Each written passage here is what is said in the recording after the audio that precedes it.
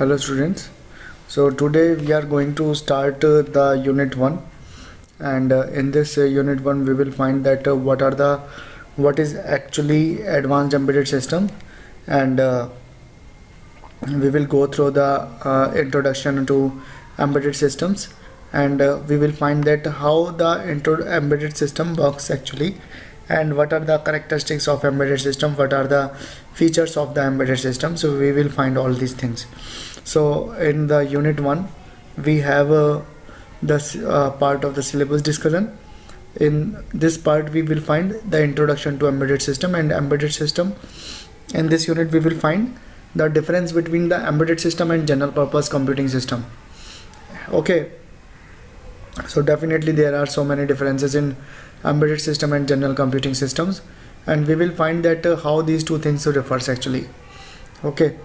Next we will find the history of embedded system and uh, what is the history of embedded system actually. And the what is their classification. What are the application area of the embedded systems. And typically embedded systems what are the characteristics and unit and quality attributes of embedded systems so this is our totally unit 1 so actually embedded system is something which is which belongs to the software as well as the hardware. Okay.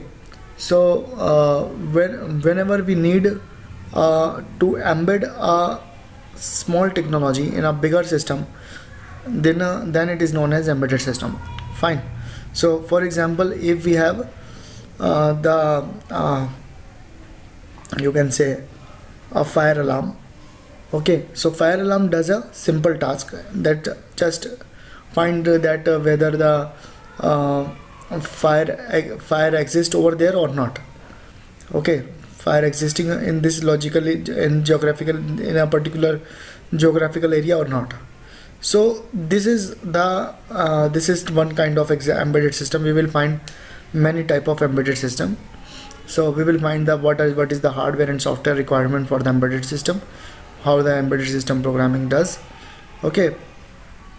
So here you can find some examples of embedded system.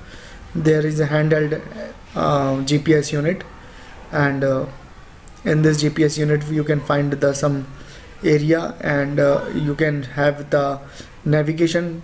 So these all things are possible in the in the handheld GPS unit. One uh, telematic system which is known as uh, which is also known as uh, basically uh, you can say in uh, our cars there is a music system and this this music system is also known as a simple embedded system which have which embedded into a automobile car okay in robotics control the embedded system also plays a great important and great role. So you can find that there is a insect type of thing and it is it is a one type of robot. And this robot works actually works with a uh, this is a spider robot and it works with the Lego Mindstorm components. And uh, it is also a embedded system type of thing. Okay so smart toys are over there and the smart toys also enrolls some embedded system parts. So you can find some actuators and the controlling circuit this is the actuator. You can find here that this is actuator works actually. And here is the electronic part which controls this actuators. And there is also some uh, movement part which is which is needed in this small toy dog dog. And uh, this is a smart and uh, you can talk with this dog. And this uh, dog behaves with a behaves like a simple dog uh, with who is uh, which you can see in your home. And uh, definitely we need a very great programming for this type of the robotic system.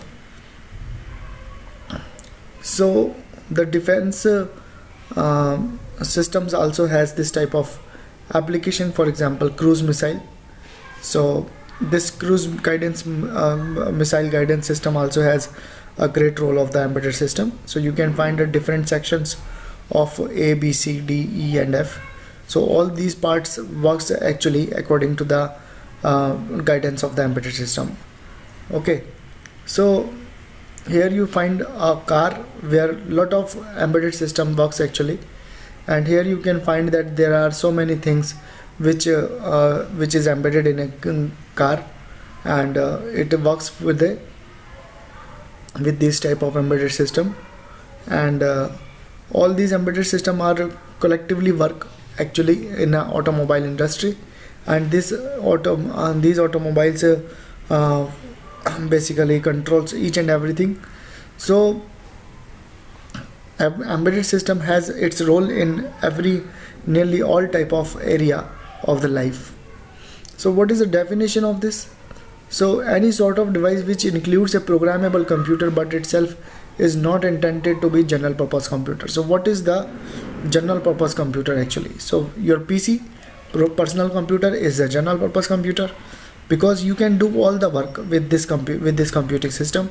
You can do the text editing you can do the graphical editing you can do each and anything and you can do everything which which is possible by just inserting a particular software in it. Okay. So that is a general purpose computing. But in the embedded system you need a simple computing system and uh, you will have you uh, you can provide a simple uh, you can say simple input and simple output. Means you will you may need only a simple button and uh, for the input uh, or some sensor input and in output you may need a simple relay simple led so this type of uh, uh, things happens in a embedded system. So embedded system is computer inside a product. So in a simple language you can see a computer inside a product is your embedded system. So there are some examples of uh, different type of systems where a computer can be exhibit. So computing systems are everywhere and you can find that in in your life in your daily life that in every system in uh, in, uh, in near about you your mobile phone your wristwatch your you can say uh, wall wall clock so everywhere home automation so everywhere there is embedded system use of embedded system. So you can see the computing system. So where these is all these systems are the uh, basically uh, you can say general purpose systems. And these systems are not the embedded systems. So uh, it is a difference between do, these two things. Okay. You student i will suggest you students that find the difference between the embedded system and general purpose systems. And there you can find uh, four to five points where you which you can write in a on your computer on your uh, exam paper. If you get this question that write the difference between embedded system and uh, general purpose systems. Okay. So so this was the general purpose computing so where you find uh, some personal computers laptops mainframe servers this type of uh, computing is general purpose computing. In embedded system computing you will have the computing system embedded within a electronic devices. Okay.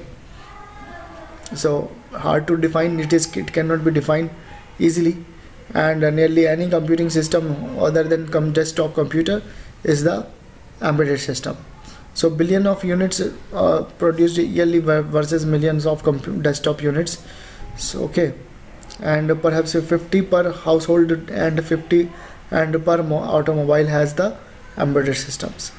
So you can find your this is the short list of the embedded system where you can find anti-lock brakes and uh, autofocus cameras automatic teller machines. These all the application are all these all things are belongs to the applications of the embedded system. You can find that you can see the pictures also that all these things are, uh, exhibits with the embedded systems technology. So how many do we use? Average middle class american has 40 to 50 embedded processor in it. Okay. Microwave washer dryer dishwasher tv vcr stereo stereo hair dryer coffee maker remote control humidifier so all these things belongs with the embedded system type of things. Luxury cars have more than 60 embedded systems brakes steering and okay. So windows locks uh, ignition dashboard. So all these things are belongs to the embedded system. Personal computer have more over 10 embedded system processors. Graphics accelerator mouse keyboard hard drive. So these are all things you can find that in a big system. There are small small embedded uh, computing system which are known as embedded systems. So these are the type of the embedded system.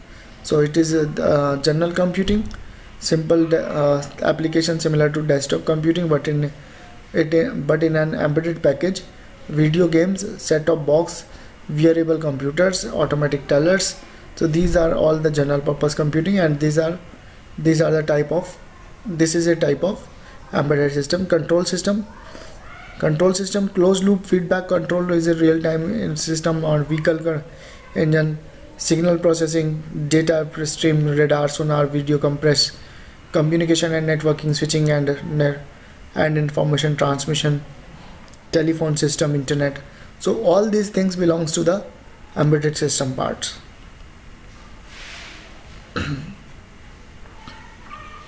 so this is also types of embedded system two different main applications areas of embedded system product product automation and product production automation.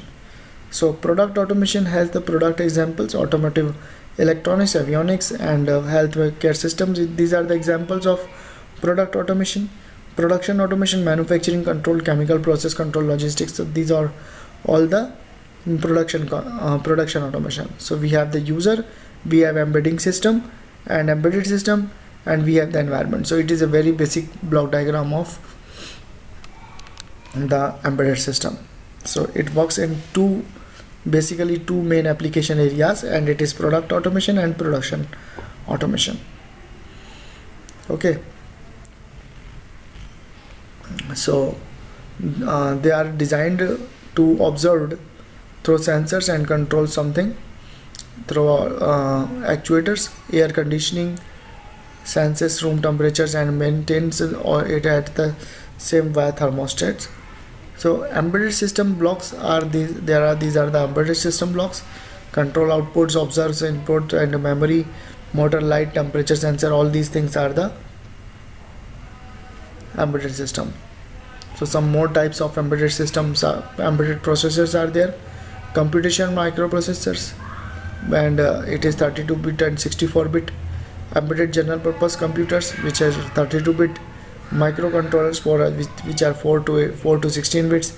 Domain specific pro processors which can be designed for a particular purpose. So these are all the types of embedded processors. Okay. So in my next lecture I will tell you the history of embedded system and uh, how does it works. So thank you for this lecture. If you have any problem if you have any issue you can talk to me. Thank you